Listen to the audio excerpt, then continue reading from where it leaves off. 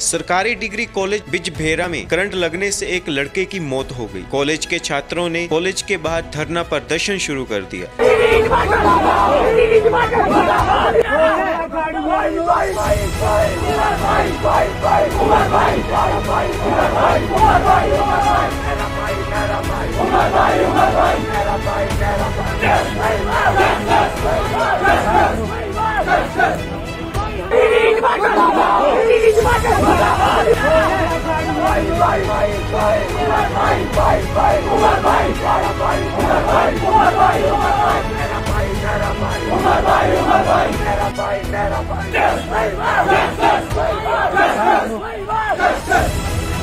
अब उपलब्ध है 1100 प्लस डिजिटल केबल नेटवर्क पर। An android based DTH smart setup box सभी ओटीटी प्लेटफॉर्म 24 घंटे लाइव देखिए हमारे सोशल मीडिया पेजेस पर।